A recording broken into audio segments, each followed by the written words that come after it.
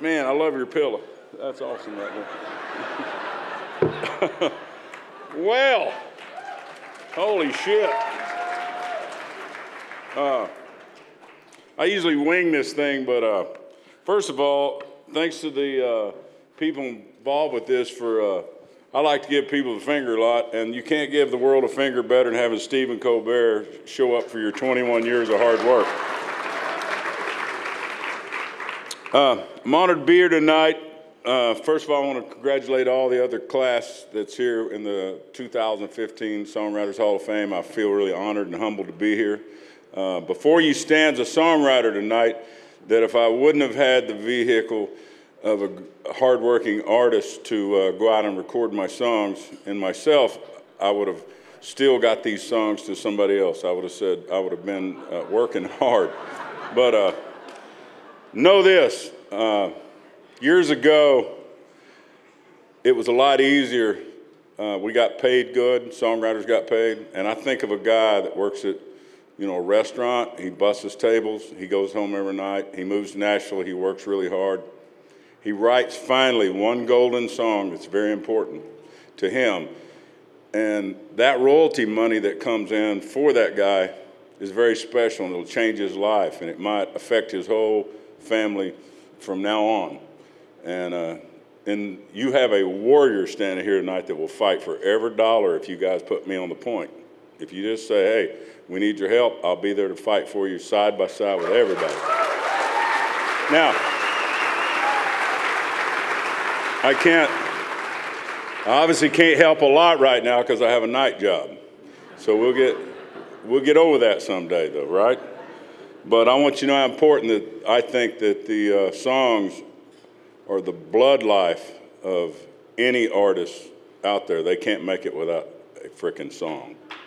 That's what I think. All right. There's many award shows out there for artists and uh, Entertainer of the Year, Album of the Year, Single of the Year, Video of the Year, all that stuff we've won. None of that means anything to me anymore. This award tonight is the only thing I ever wanted, and thank you for making this possible for me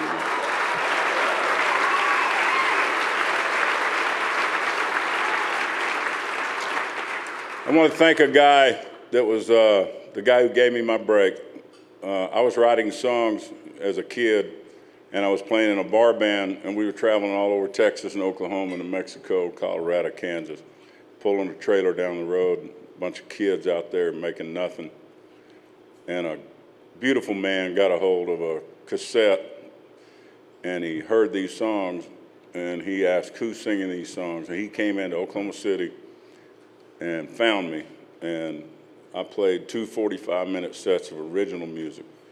And we were playing in a meat market where you had to play top 40 and hip hop and country and everything um, keep the dance floor full or they'd fire you.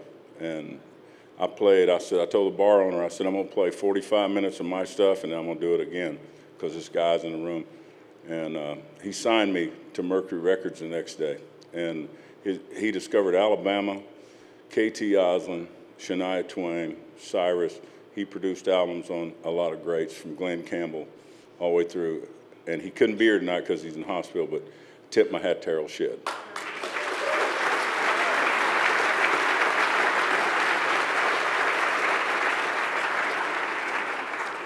As a songwriter, I was a perfect storm, so to speak. Um, my mother sang, and my dad had incredible wit. Being from Oklahoma, he was like Will Rogers. He could sum it up that quick. Ain't as good as I once was, but I'm as good once as I ever was, is what my dad used to say. So those things are in my songs. Um, I want to thank my family. I want to thank uh, my mother's here tonight, and thanks, Mom. My wife and uh, two of my kids are here tonight. They're most, all more beautiful and smarter than I am, but uh, they're all here tonight. Uh, I want to thank my manager of about 20 years, TK Kimbrell. He's fought for me every day. He, hey, for those of you in the room in the music industry, if you've had to deal with TK, he has fought so hard for me that they won't even take his call no more. That's how hard he fought. I want to, uh, oh, y'all know Paul Williams was in Smokey and the Bandit, don't you? So for you hillbillies that go home and pull out your Smokey and the Bandit thing, Paul Williams is in. Little FYI, just putting that in there. That's pretty cool, I think. what y'all laughing at? He's a little guy. Uh, I want to thank, uh, first thing I did when I went to Nashville is I walked in town, they said, uh, you have a publishing deal? And I said, no. And they said, well, you got to have a publisher. I said, all right. And they said, uh, you got to go over and get affiliated. And I walked in BMI one day. And uh, I walked in and they were like, who are you? And I said, I don't know. I'm just, they told me I was supposed to get affiliated. So I'm here. They said, well, go over there and stand. All right. So I stood over a good freaking spell. And they sent another guy out. He sent me to a woman, and she sent me on back a little further. And I run into a guy that was younger than me, and he pulled me in the office. He goes, what are you, what are you doing back here? I go, they, they made me come back here. I don't know what are you doing? I said, I'm trying to get affiliated. He said, well, let me go over here and get a sheet that you can affiliate yourself. So I filled out the form. I said, what does this mean? He said, that means all your songs will now, you'll get collected for them if you ever have a hit. I said, okay. His name was Clay Bradley. And years later, he was like, you was the biggest shit ass that I ever met. He goes, "You're my hero." He said, "If he said if, if I can ever talk about BMI, my years at BMI, and my famous family, he goes, "You're my guy," because you just wandered in the back and nobody knew what the hell you was doing back there. thought, he said, "We thought you was uh, signing up to be a janitor or something." anyway, uh, my grandmother was. Uh, a hero of mine and very important to me. She had a, a nightclub back in the day when nightclubs, uh, supper clubs were um, big band. She had three-piece horn section. She had a bass player play a little upright, play electric bass. Had a drummer on the brushes that would listen to the Cardinal baseball games, and when they would lose, he would get out of time.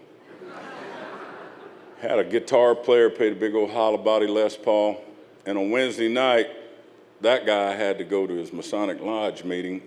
And my mother, we live in Oklahoma, and she had her bar in Fort Smith. And, and uh, one summer, my mother, I was the oldest grandson of about 10 or 12 kids, and she said, uh, you want to go? Your grandmother was a widow." She goes, "Do you want to go stay with your uh, grandmother this summer?" I said, "Sure." And she put me. They wouldn't do this today. She put me on a Greyhound bus. It made 22 stops. She goes, Here's a lunch, here's five bucks, and do not get off that damn bus till you see your grandmother. Stayed the whole summer with her, washed dishes in the back, and would peek out through the window and would watch that band play. And I said, Some, Someday, that's what I'm going to do right there.